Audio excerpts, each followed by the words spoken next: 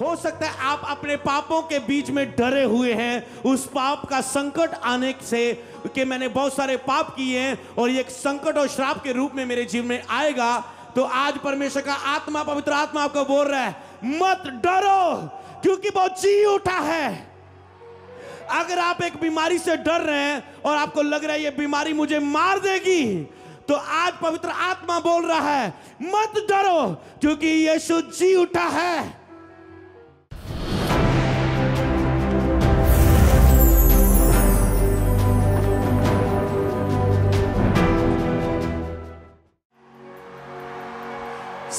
बार बोले, यीशु ज़िंदा है।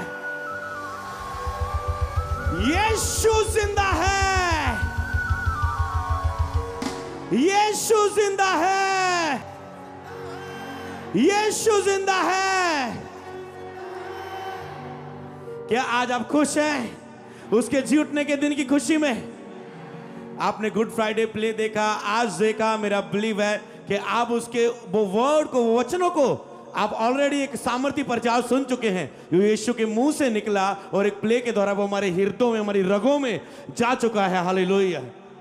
हम सबसे बात सबसे ब्लेस इंसान है क्योंकि हम जीवित परमेश्वर को मानते हैं।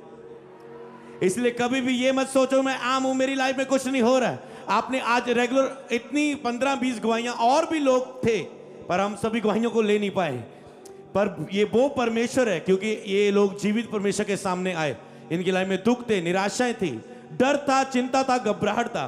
पाप इन्हें सता रहे थे रोग इन्हें सता रहे थे दुष्ट आत्मा इन्हें सता रहे थे पाप के श्राप इन्हें सता रहे थे। पर जैसे जीवित परमेश्वर को इन्होंने माना और जीवित परमेश्वर ने सबको ज़िंदा कर दिया इनकी जिंदगियों में। हालेलुया।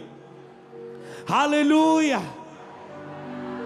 ओके आज देखते हैं आ, आज एक अंगीकार करना है यीशु ज़िंदा है। और देखते हैं कि आप अपने पड़ोसी से ऊँचा बोल सकते हैं या नहीं? ओके अपने पड़ोसी के हाथ को पकड़ लो, कोई भी एक एक हाथ को पकड़ लो और उसकी और चेहरा कर लो, मेरी और मत करो। और अपने पड़ोसी को बताना है आज। अपने पड़ोसी को बताना है। ओके पहले वो बताएगा, आप ऊँची आवाज़ से बोलेंगे, जो मेरे सज्जे हाथ है, ठीक है? जब मैं बोलूँगा। फिर जो खब्बे हाथ वाला आपका पड़ोसी होगा एक एक पड़ोसी लेना है एक एक के हाथ पकड़ने, केवल एक जन। एक जन, एक एक के कोई एक एक ले पड़ोसी ले लो। कोई अकेला नहीं रहना चाहिए। और देखते हैं कि इधर से लोग ज़्यादा अंगीकार ऊँची आवाज़ से करते हैं। उसके जी उठने का, जब बाएँ हाथ वाले, दाएँ हाथ वाले, जब बाएँ हाथ वाले। हाले तो सबसे पहले मैं मौका दूँगा। उसके बाद फ़र्स्ट मौका आप खब्बे हाथ वालों को भी दिया जाएगा। ओके तो आपको उससे ऊँचा बोलना है। देखते हैं आप उसको उससे ऊँचा अंगीकार कर सकते हैं या नहीं आज। ओके सबसे पहले मेरे दाएँ हो हाथ जो है, उनको बोलना है, यीशु ज़िंदा है। ओके अब बाएँ हाथ को बोलना है, यीशु ज़िंदा है।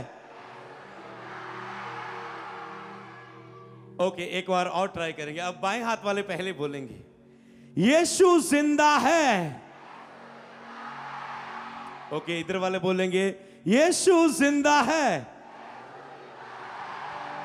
अब सारी चर्च बोलेगी, यीशु ज़िंदा है।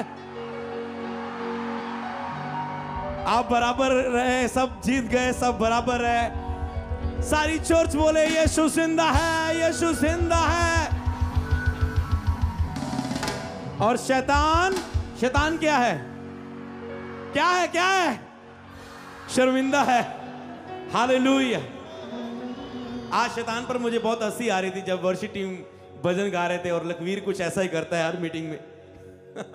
इसको आदत है शैतान की ज़्यादा तय लगाने की। तो जब ये वर्शिप कर रहा था, आपको भी हँसी आ रही होगी कि शैतान की कितनी बे... और आज के दिन पे ये चाहिए होता है। जो लोग कहते हैं, शैतान मुझे तंग करता है। अगर आप शैतान की बेजती करो ना, उस पर हंसो तो शैतान बेजती के मारे आपको छोड़ के चला जाता है। अगर उसने बीमारियाँ दी हैं, रोग दिए हैं श्राप दिए हैं, जब आप उसकी बेजती करते हो तो शर्म के मारे वो भाग जाता है। लेकिन सामना करो और वो भाग जाएगा। मौत कबर उते पाई फता, यीशु ज़िंदा होया, यीशु ज़िंदा होया। हालेलुया। ओके, ऐसे खड़े रहना, मैं एक प्रोफेटिक वर्ड आपके ऊपर रिलीज़ करना चाहता हूँ। उसके बाद हम वर्शिप करेंगे। ओके एक वचन मैं आपके बीच में पढ़ना चाहूँगा। दो तीन, उसके बाद बाकी हम प्रीच में पढ़ेंगे। ओके पहला वचन आपके स्क्रीन के सामने होगा। मैं उसे पढ़ूँगा कि कैसे यीशु मसीह मुर्दों में से जी उठे और कैसे यीशु मसीह ने उस अद्भुत कार्य को किया। जब मैं मरकुस की किताब पंद्रह अध्याय, उसकी सैंतीस और उनतालीस पढ़ता हूँ, तब यीशु ने बड़े शब्द से चिल्ला के अपना प्राण छोड़ दिया। ओके अठतीस में लिखा है, और मंदिर का पर्दा ऊपर से नीचे तक फटकर दो टुकड़े हो गया। ओके, उनतालीस पढ़ेंगे जो सूबेदार उसके सामने खड़ा था, जब उसे ज्यों चिल्लाकर प्राण छोड़ते हुए देखा तो उसने कहा, सचमुच ये मनुष्य परमेश्वर का पुत्र था। हालेलुया। सचमुच ये मनुष्य, जब यीशु ने प्राण त्याग गया मंदिर का पर्दा फट गया, तब उन्हें अकल टिकाने आई, समझ आया। उसने कहा, कहता सचमुच यीशु परमेश्वर का पुत्र था। हालेलुया। सचमुच यीशु परमेश्वर का पुत्र था। और उसके बाद जो आपने स्टोरी देखी, पढ़ूँगा मैं उसे। जब आगे बढ़ते हम, मरकुस पंद्रह की छियालीस और सैतालीस, तब उसने मलमल की एक चादर मोल ली और शब को उतार कर उस चादर में लपेटा और एक कब्र में, चट्टान में खोदी हुई जो थी रखा और कब्र के द्वार पर एक पत्थर लुढ़का दिया। ओके मरियम मगदलिनी और योसेस की माता मरियम देख रही थी कि वह कहाँ रखा गया है। मती 28 की एक से छह तक सबत के दिन के बाद, सप्ताह के पहले दिन, पौ पड़ते ही मरियम मगदलिनी और दूसरी मरियम कब्र को देखने आई। आपको सब वो स्टोरी याद करे जो अभी आपने देखी। फिर मैं आपको इसका घोषणा बताता हूँ, एक प्रोफेटिक वर्ड यस आगे बढ़ेंगे।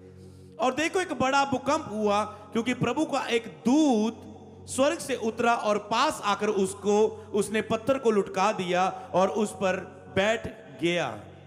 ओके, दूत प्रगट हुआ उसके बीच में। उसका रूप बिजली का सा और उसका वस्त्र पाले के समान उजला था। उसके बै से पहरुए काँप उठे, नृत्य के समान हो गए। स्वर्गदूतों ने स्त्रियों से कहा, मत डरो। ये आपके लिए प्रोफेटिक है। मैं जानता हूँ कि तुम यीशु को जो क्रूज पर चढ़ाया गया था, ढूंढती हो। वह वहाँ नहीं है, परंतु अपने वचन के अनुसार जी उठा है। जाओ, स्थान देखो, यहाँ प्रभु पड़ा है। बोलो, यीशु जी उठा है। बोलो, यीशु जी उठा है। बोलो, यीशु जी उठा है।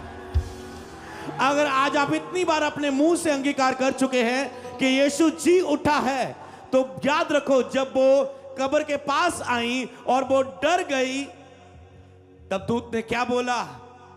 कि डरो मत, वो जी उठा है।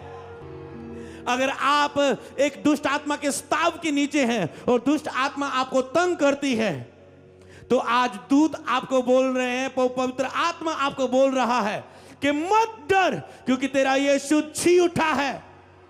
और तेरे विचकार है, तू जीवित परमेश्वर को मानते हो। हालेलुया। आप अलग अलग तरह की दुखों में हो सकते हैं निराशा में हो सकते हैं, हालात, बुरे हालातों का सामना कर रहे हो सकते हैं। बैड न्यूज़ पर बैड न्यूज़ आपके आपको चारों दिशाओं से गिर रही हो सकती है, पर आज परमेश्वर का वचन कहता है। कहता है, वो अपने वचन के अनुसार जी उठा और वो आज परमेश्वर का वचन कहता है कि मत डर क्योंकि वो यीशु जी उठा है। हालेलुया। आज वो तुझे कह रहा है, मत डर क्योंकि तू जीवित परमेश्वर को मानती है। मत डर क्योंकि तू जीवित परमेश्वर को मानता है। मत डर मत डर मत डर। अगर आज आप उस डर को निकाल चुके हैं, उस जीवित परमेश्वर के सामने कि मैं जीवित परमेश्वर को आया हूँ, के सामने आया है, जिसने इन लोगों को गुहाई के साथ खड़ा किया वो मुझे भी करेगा। अगर आज आप अपना डर को दूर करके यीशु मसीह पर जीवित परमेश्वर पर अपने विश्वास को लाएँगे तो आज आप अपने जीवन में उसकी महिमा को देखेंगे। बोले, आमेन। हालेलुया। उसने कहा, मत डर, क्योंकि वो जी उठा है। डर एक अविश्वास है। चिंता एक अविश्वास है। घबराहट एक अविश्वास है। तो आज अपने डर को, चिंता को, घबराहट को नेगेटिव अंगीकारों को, बुरे विचारों को, डर और घबराहट, चिंता के विचारों को दूर करके इस बात पर विश्वास करे, यीशु जी उठा है। तो उसके जी उठने की सामर्थ आपको गवाही के साथ खड़ा करेगी। आप एक चीज़ याद रखो, जब भी आप चर्च में प्रेयर के नीचे होके जाते हो हमने बहुत सारे लोगों को ऐसे देखा कुछ लोग गवाही देते हैं, पर कुछ लोग नहीं देते। पर मैं आपको ये बात का बिलीव दवाना चाहता हूँ, जब भी आप प्रेयर के नीचे होके जाते हैं ले हैंड के नीचे होके जाते हैं चर्च में खुदा की वर्शिप करके जाते हैं ले हैंड लेके जाते हैं फ़र्स्ट टाइम आते हैं, जैसे भी आपके ऊपर अनॉइंटेड टच लेके आप जाते हैं, आप सेम नहीं, आप अपनी गवाही को लेकर जाते हैं। लोग अपनी गवाही को लेके जाते हैं। कोई अपनी गवाही देता है, कोई कहता है, जब साल बाद दूँगा, जब बेबी आ जाएगा, पिछले ईस्टर ब्लेस हुआ, और अगले ईस्टर आके अपने बेबी के साथ आ रहा है। समझ पा रहे हैं? पर हर आपको यह मानना है, जब आपके लिए प्रेयर होती है, घोषणाएँ होती है ले हैंड होता है टच किया जाता है आपको, आप अपनी गवाही को रिसीव कर लेते हैं। कुछ लोगों की गवाही उनके वीज़ा लगने के बाद कोई देता है। कोई कहता है ओके मेरा ओके मेरा काम बनना शुरू हो चुका है उस घोषणा के बाद। अब मेरा सारा काम पूरा हो जाए, मेरा वीज़ा लग जाए, तब गवाही दूँगा। पहले ना पता चले, ओके, प्रेगनेंसी हो चुकी है, पर ऐसा नहीं, मैं जब मेरी बेबी आ जाएगा, तब दूँगा। कुछ लोग उसी समय महिमा करते, कुछ लोग देर करते हैं, पर वो उनका पर्सनल डिसीज़न है, उसमें हमें कोई लेना देना नहीं। पर इस चीज़ को याद रखो लोग प्रेयर रिसीव करके, उस समय रिसीव करके ब्लेस हो जाते हैं। तो आज आप जी उठने की सामर्थ के नीचे होके जा रहे हो। बस आज आप आए हो तो आज बिलीव करके जाओ। उसके जी उठने की सामर्थ मेरे जीवन को नया कर चुकी है। मैं यहाँ से ब्लेस होके जा रहा हूँ। क्या तुम इस विश्वास से खड़े हो? तो बोलो, यीशु जी, उठा। मैं जीवित परमेश्वर को मानता हूँ। हालेलुया। उस प्ले को याद करते हुए, उस गुड फ्राइडे जो आपने कुर्बानी को देखा है, उस कुर्बानी को याद करते हुए, उस जी उठने की सामत को याद करते हुए, आप अपने जीवनों में जो प्रेजेंस खुदा के भवन में उसकी कृपा दृष्टि से, उस अनुग्रह की दृष्टि से, उसकी दया से, आज आप अपने जीवन में मेरिकल्स को लेके जा रहे हैं, जब यहाँ से जा रहे हैं। हाले